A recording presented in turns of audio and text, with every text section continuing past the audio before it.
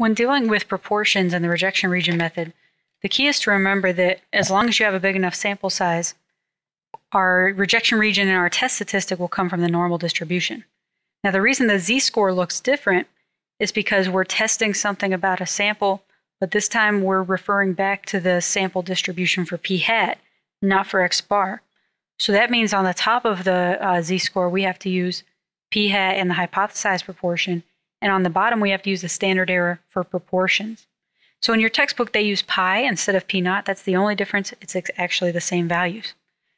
So we're going to go into three examples, and these will all be left tail, two tail, or right tail. So you'll get to see each one and get an idea of how it works. So in this first example, we're told in a small, uh, small town, we have some residents, and 1,759 of them stated they support a new candidate for mayor. We want to know if this is evidence to say the new candidate has support of more than 75% of residents. Okay, so the question and the claim, the statement we're testing, is about a proportion. So this is wondering is the proportion bigger than 0.75 versus is it smaller than 0.75?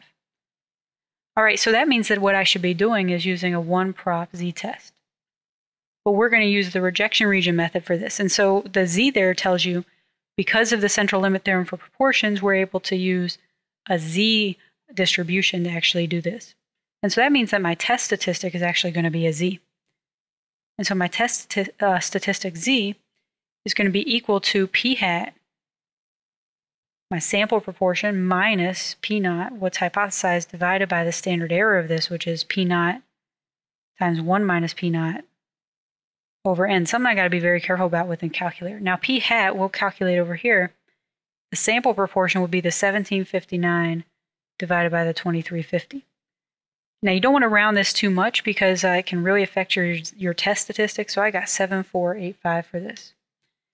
Okay, now when I plug all this in, I get 0.7485 minus 0.75.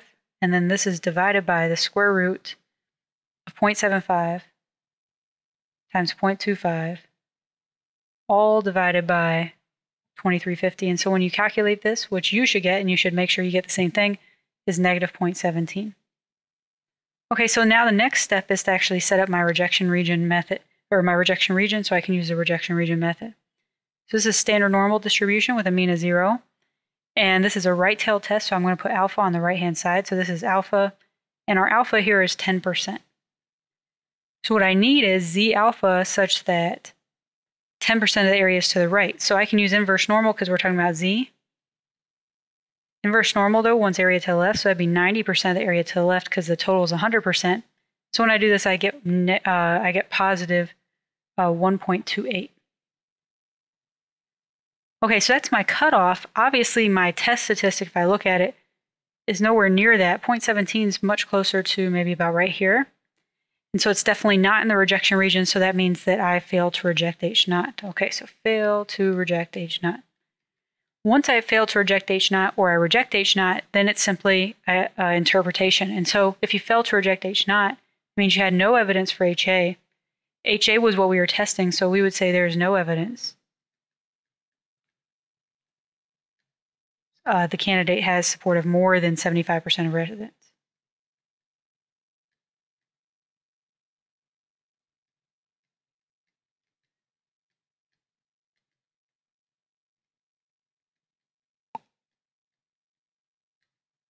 And so again, if this is if my uh, test statistic ended up in the shaded region, then what I would say is uh, yes, there is evidence.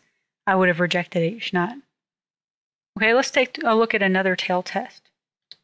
Okay, so this one's from your textbook, and so it tells us that we had a recent sample of employees nationwide and uh, that have 401ks, and 18% of them had borrowed against it. And so a random sample of people at a local company found only 14 out of 100 had borrowed from it, so, based on this, can we say that this particular company, if you were to look at everybody in the company, had a lower proportion of borrowers when you compare it to the national rate? In other words, we're wondering is can we say that the proportion at this company, so I'll put a little C on there, the proportion at this company overall for the whole population of people working at that company has a borrowing rate less than 18%? So again, it's a P because we're talking about a proportion here. So that means I'm going to use a one prop Z test. And so what I need before I can do my test statistic is a P hat.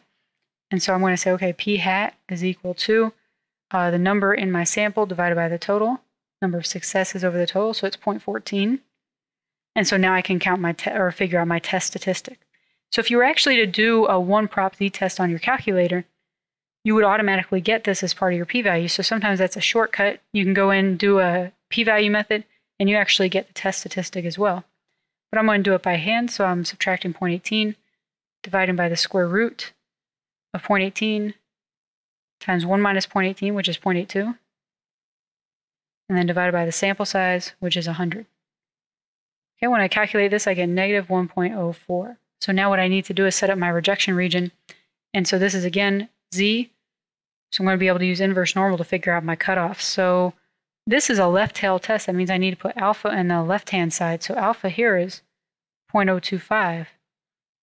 And so what I want to do is say, okay, what is z alpha that has area to the left 0.025?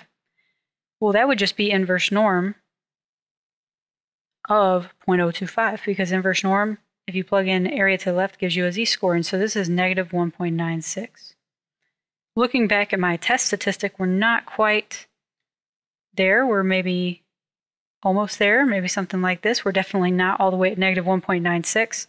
So this, as well as the previous one, is a fail to reject. So I fail to reject H naught. So that means that it's not possible to conclude. So I want to answer the question, which was, is it possible to conclude that the company had a lower proportion of borrower, borrowers? I would say no it is not possible to conclude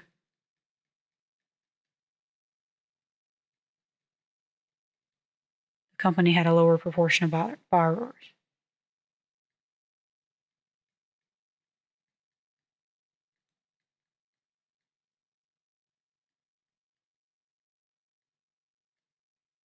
And so this is important when I'm interpreting. I want to make sure I'm addressing the question as well, right? So this is true whether you're doing your re own research or textbook question. You got to make sure you address what you were testing.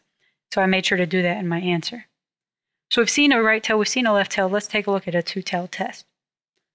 Okay, so this is also from your textbook, and it says that uh, uh, based on a recent article in the Wall Street Journal, 39% uh, of consumer scam complaints are about identity theft. This is actually data for the United States. So suppose we take a random sample of 90 complaints, and of those, 40 were regarding identity theft.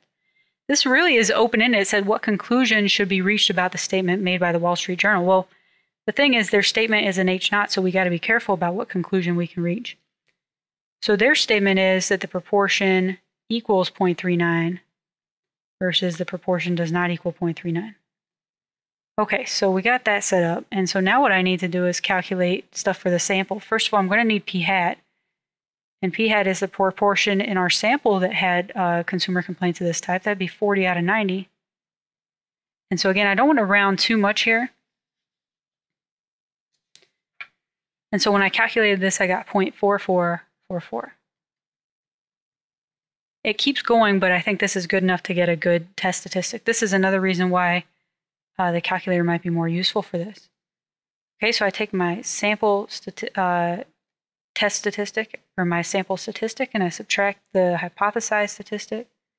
I divide by the standard error, which is going to be 0.39 times 1 minus 0.39, which is 0.61 divided by my sample size 90. And so when I calculate all this, I get 1.058. Okay, so now I need my region. And so I say, okay, this is a z distribution. And this is a two-tailed test, so half of alpha goes on each side. So alpha is 10%. So I'm going to put 0.05 over here, 0.05 over here. And then remember that uh, the mean is zero for standard normal. And so I'm going to have a z alpha. And then this is going to be the same number, but it's going to be a negative z alpha. And so the question is, which one's easier to find? Well, inverse normal takes area to the left. So I could say this is going to be inverse norm of 0.05. And when I calculate that, I actually get uh, 1.64, negative 1.64. That means this is positive 1.64. Okay, so now I look up here and I say, well, my z-score was 1.058. That doesn't reach into either of these rejection regions. So, so far, all of these have been a fail to reject H naught. That can absolutely happen. That shouldn't freak you out. So I get a 1.058. Doesn't go into either rejection region. So just as before, this is a fail to reject. Sometimes students get nervous about that on a test. It can absolutely happen. With samples, you're not sure what's going to happen until you actually go and test the data. Now, in this case, this is a very open ended question. It says, What conclusion should be reached? It would be incorrect to say that the Wall Street Journal is right. All we can say is we have no evidence that they're wrong. We cannot prove H naught, not possible to prove H naught, but we failed to reject it, right? So all we can really say is there is no evidence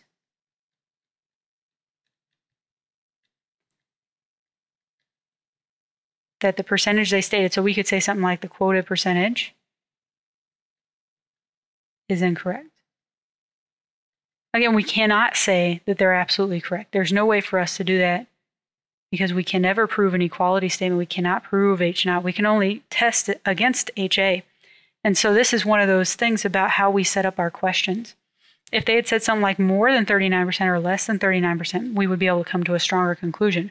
But because what we're testing is H naught, we can only say there's no evidence that they're wrong. We can't say that they're right.